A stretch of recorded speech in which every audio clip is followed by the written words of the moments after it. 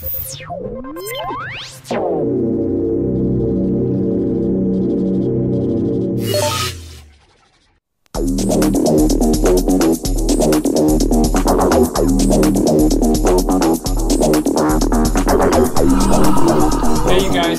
from SonyRumors.net, and today we have a quick little video for you guys. Um, out of nowhere, Sony and Amazon have just announced that for the PlayStation 3, you guys can get the Amazon Video on Demand app, and in the quick video, we're going to show you guys how you can download it and how you guys can access it.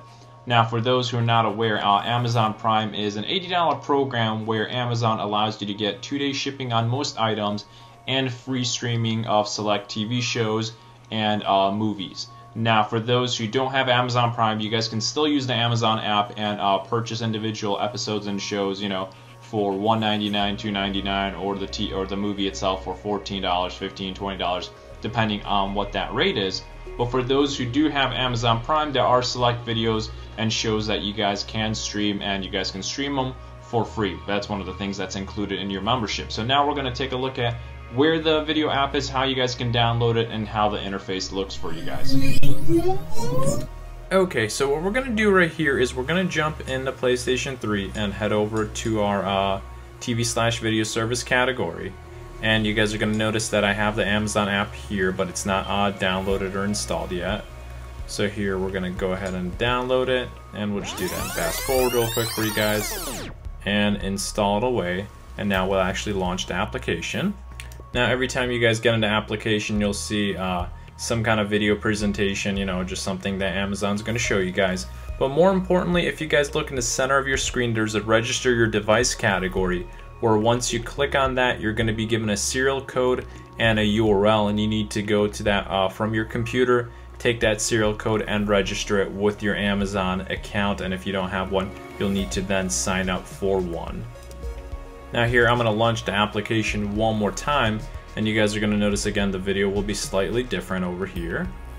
And the thing that you guys are going to notice now is uh, that registration screen is going to be gone and instead it's going to be uh, a placeholder for your video library and we'll get to that in just a sec.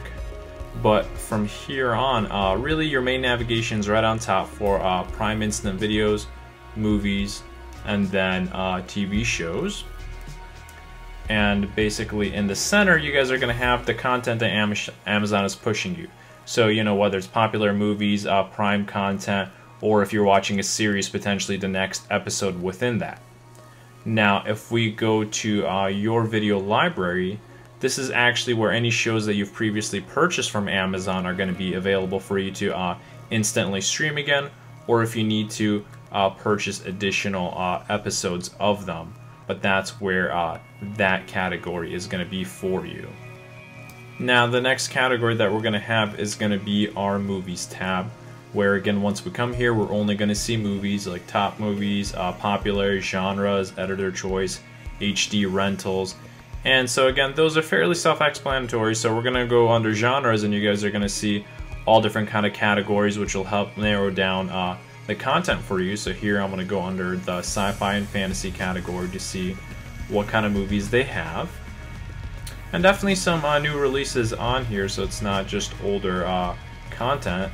So for example, if we go under uh, Super 8 by one of my favorite directors, J.J. Abrams, here is Super 8, and we're presented with a few different options. Uh, first of all, we can watch the trailer, but we can uh, rent it uh, for $3.99 or rent in HD for $4.99 or if we go under view all purchasing options uh, here we're going to see some different options like $14.99 to buy uh, Super 8 in HD if that's what we want to do.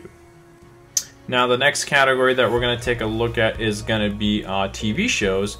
So here I'm going to navigate over to the TV show category and jump in and it's going to be fairly uh, similar to uh, the movies layout for you guys, where there's going to be some of their uh, big content right up front, and then you guys can go editor's choice, most popular uh, TV channels, and uh, find content uh, that way.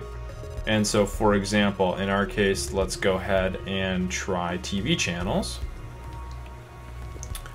Once you guys are within the TV channel section, you're going to notice that you're going to see most of the major players here like Starz, Showtime, Fox, ABC, CBS, with only HBO missing since uh, they do their own thing. but in my case, I'm going to go ahead and go under Fox and see what they have since they have some of my favorite shows right now, like Fringe and uh, Alcatraz. Right here, we're going to go navigate over to Alcatraz, go ahead and uh, click on it, and you guys are going to see they're going to have all the episodes uh, from this season. And again, it's $1.99 to buy it. And keep in mind with Amazon uh, Instant Video, everything is streamed to you. So even when you purchase it, it's never actually sent to your system to take up hard drive space. It's always being streamed. Now this next category is for Amazon Prime members, which is uh, $79 a year and gets you two day shipping on most Amazon items. But what is Amazon's included with that is access to a lot of uh, instant streaming TV shows and movies where these we don't need to uh, download them or uh, these we don't need to pay for them I should say. We can go ahead and automatically stream them without paying anything additional. So here I'm gonna go under a TV category go under uh, ABC and for example these are all the shows that I get from ABC and there's plenty more that I can immediately start streaming without paying anything. So again I absolutely am a Lost fanatic. So here if we go ahead and click on Lost here are the different uh, episodes. And notice it just says watch now.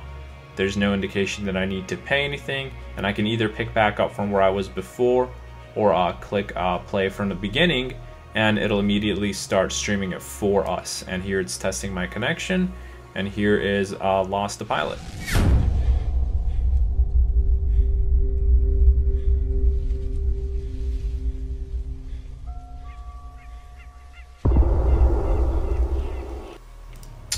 Alright, so here I'm just to go ahead and jump out of that video.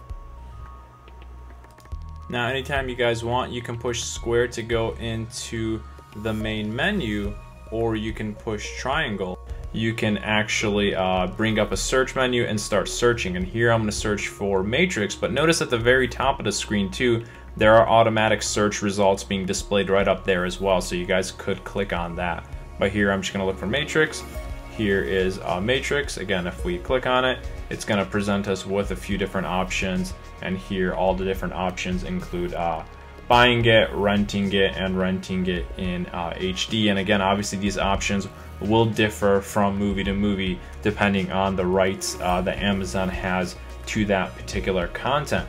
But again, you guys, this has just been an overall look for you guys for uh, Amazon Instant Video for the PlayStation 3, which was just released uh, today. As you guys can tell, the app itself is pretty slick, works fairly fast. Again, I have uh, Time Warner Broadband on my end with uh, 5 up and I think 25 or uh, 30 megabits uh, down. And again, I have absolutely no problem streaming it, so I'm not sure how it might be for uh, people with slower speeds like DSL, but on average, I can't imagine it being uh, too bad since Netflix does fairly good for everybody. Uh, the only problem with this app, which is similar with some of the other companies like Netflix, is sometimes the crapshoot of figuring out what's actually available, you know, for those who have Amazon Prime and what there isn't. Uh, I've gone to Amazon.com myself, logged into my Prime account, and it's still not a whole lot easier really figuring out what's available and what's not. And so far from the movie selection, uh, it's not too impressive. Now, uh, if you're willing to pay for it, I think then you can download more recent stuff. But if you're looking to get more free stuff with your Prime account, there really isn't a whole lot of content. But again, it's just one more option out there. And sometimes, you know, some shows that you might be in love with might be there. Uh, in this case, Lost for me is there, but again, I already own the show, so not a big deal. But again, that's just been Amazon Prime app for you guys uh, for the PlayStation 3. Again, it is a free download and available now for all uh, PS3 users out there. Um, as always, if you guys have discovered anything that we've missed, please feel free to drop them in the comment section below. And remember that you guys can find us all over the web on Facebook, Twitter, and all different kind of places at backslash uh, Sony Rumors. So again, thanks for watching, and uh, hopefully we'll have another video for you guys very soon.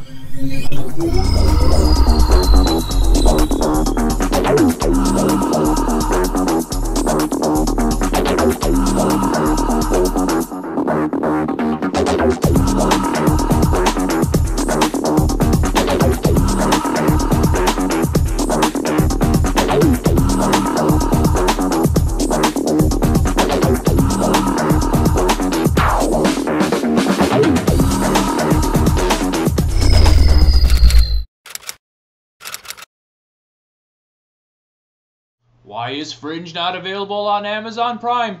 Damn you!